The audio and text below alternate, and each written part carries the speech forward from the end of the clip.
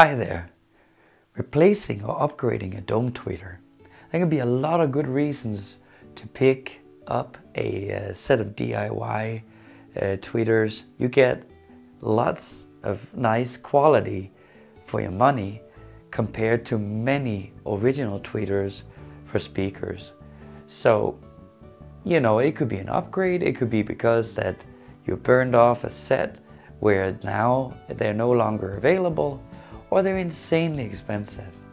So lots of good reasons to get a set of DIY uh, tweeters from like whoever, SB Acoustics, Scan-Speak, uh, Morel, whatever. There's a lot of good stuff out there that, that could be an excellent upgrade.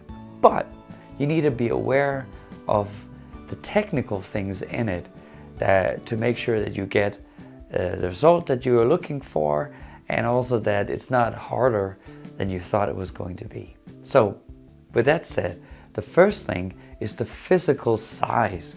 There's no standard for tweeters out there. They are all kinds of sizes. The most typical size is though about 10 centimeters across here, but that's you cannot count on that at all. So you need to look at the measurement of your original one and then look at the measurements like the, in the data sheet of the new one and really look at it and see if you need to modify your cabinet for it to fit in there. The other thing you need to be aware of is sensitivity. Sensitivity is like efficiency, is how loud is this tweeter playing giving a certain amount of uh, amplifying effect. So you have two types of measurements out there. You have a one watt, one meter distance, how many decibels is it playing. Typically one for a dome tweeter will be like from 89 up to like 93. And, but it could also be that it's measured by 2.86 volts, um, a very common one and a more precise one if you ask me. It, it represents it more clearly. So those two, you have to compare that with the old tweeter or assess the old tweeter to what was it. And that can be a little tricky.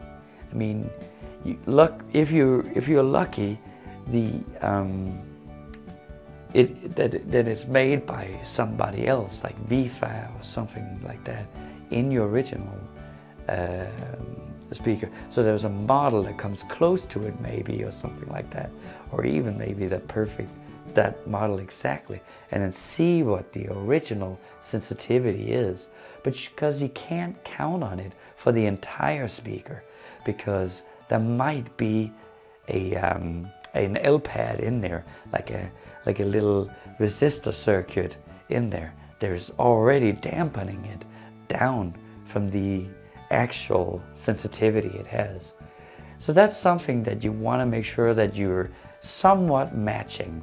I will say that if you pick one there is plenty big, like say 91, 92, and you can see that the speaker is like 90, well, well then you know it's gonna, you can, you have a chance of modifying that later um, uh, with, with resistors but it could be a challenge. So you want to make that, assess it as well as you can uh, to get it as close as you, you can.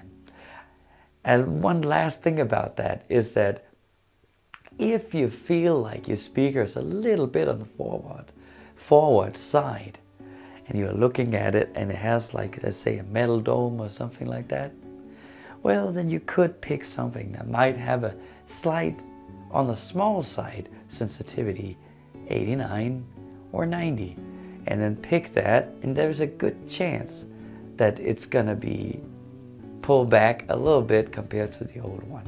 And again, you could put in some more resistors to dampen it some more. So yeah, it's a little complicated, but um, if you look really look into it, it's not too bad. And I, I will post some more videos on theory and please ask ask me here in the comments section down below. Right, all right. Impedance. Impedance is the resistance through this tweeter. And when we talk about impedance and not resistance, like uh, we, we, we're putting into account that there's a coil in there, so there's something called inductance, and that creates an additional resistance. All right.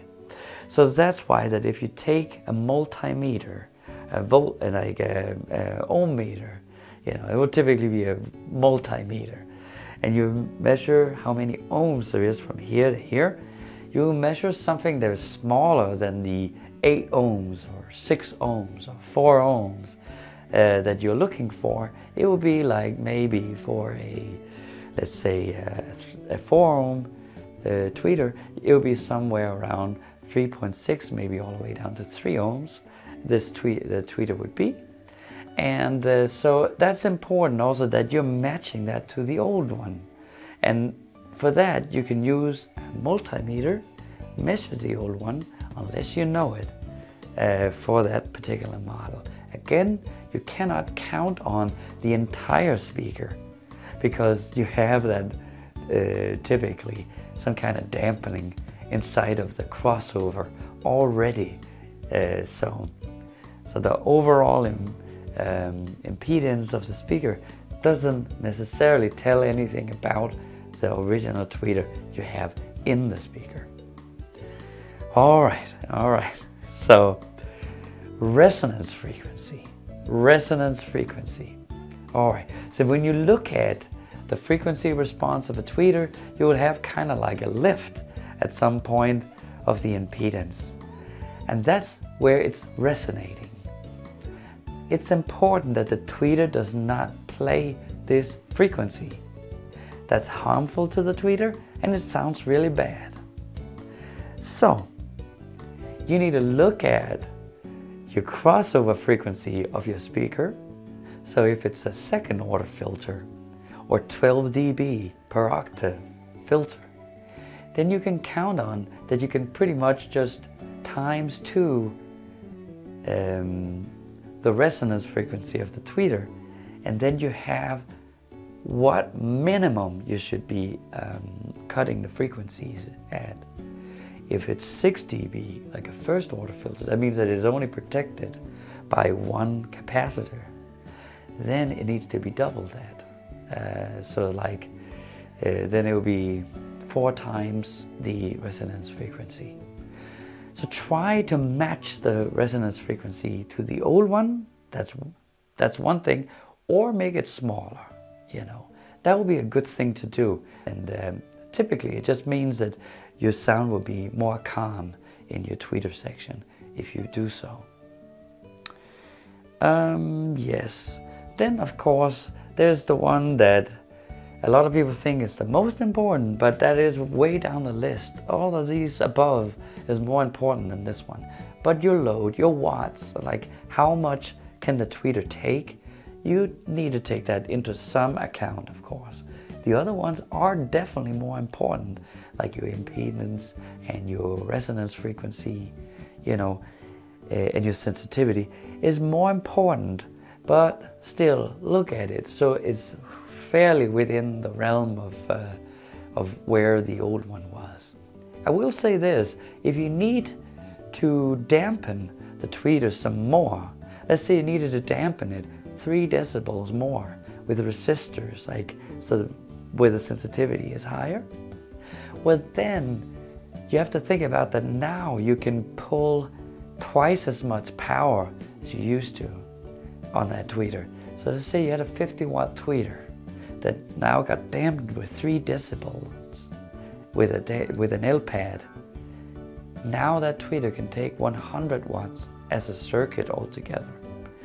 So sensitivity is therefore just as important as watts, also in the terms of load. Yes, all right, so the last thing I want to say is membrane material. Like what is the dome here made out of. So you have some typical characteristics depending on that. Your silk tweeter or textile tweeters is by a large margin more laid back, more calm, um, more mild. It's, it's by a broad margin. It's not always the case, but very, by a very broad margin. Where titanium and aluminum tweeter would be more forward, a little bit more sharp, more like more seeming like it has more clarity. And then on the very top you have the beryllium tweeters, which is the ultimate. It's light, it's stable, really beautiful on all accounts, but also very expensive. And you can get a diamond coated tweeter ultimately, which is extremely pistonic. That means that it doesn't break up. It's very like like a piston. It just moves the air out and back. Where the you know the textile tweeters, the titanium tweeters, we have some kind of wobbling in the material. Um, I hope you can use this for something if you're looking for an upgrade on your tweeters or you want to replace uh, your tweeters to something really nice, um, better than what you had before. So anyway, uh, write in the comments section if you have any questions or maybe a suggestion for something else I should uh, touch upon. Well, thank you so much for watching this video about replacing, upgrading your dome tweeters. Take care guys. Bye.